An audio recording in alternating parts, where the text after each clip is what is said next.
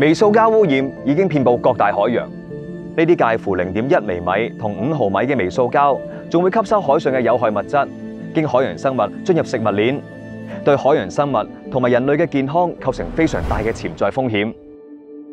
但系 Polyu 嘅 Doctor c h a 同 Doctor Fan，佢哋研发咗个崭新方法去收集呢啲微塑胶，解决海洋污染嘅问题。肉眼看不到嘅微塑料，就用肉眼都系睇唔到嘅微生物去解决。系啊，细到你睇唔到，微塑胶粒细到好似某啲细菌咁细，最大都只有一粒黄豆咁大。佢哋可以系由工厂生产嘅废料、车胎喺公路上因摩擦而散落嘅胶粒、塑胶产品喺风化分解过程中产生嘅胶碎、化妆品、磨砂洁面产品或含有微胶珠成分嘅日用品中产生嘅胶粒。没错。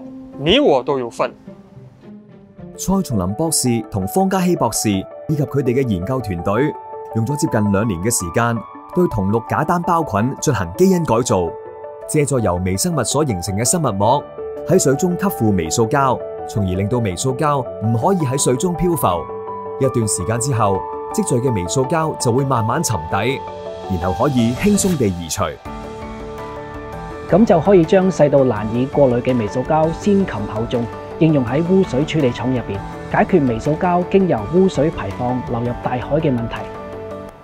呢项研发用喺海洋入面，对海洋生物同埋人类嚟讲都有好大影响。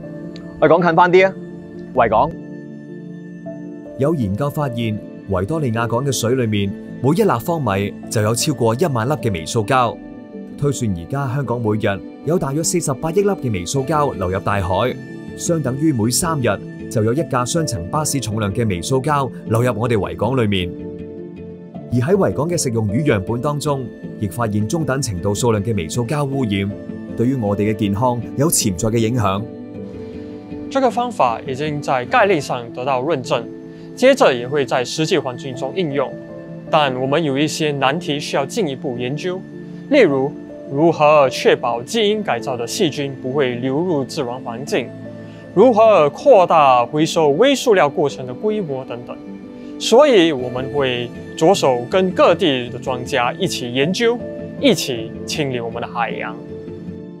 阻截微塑胶进入海洋，已经系急在眉睫嘅世界议题。而呢个研究成果，仲已经喺二零二一年嘅英国微生物学会网上周年大会上得到广泛嘅关注。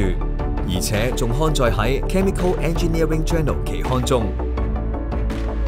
以微生物去解决微塑胶问题，以小制大，已经可以为解决微塑胶污染呢个世界性问题行出重要性嘅一步。世界因为多出差同 Doctor Fan 而有所不同。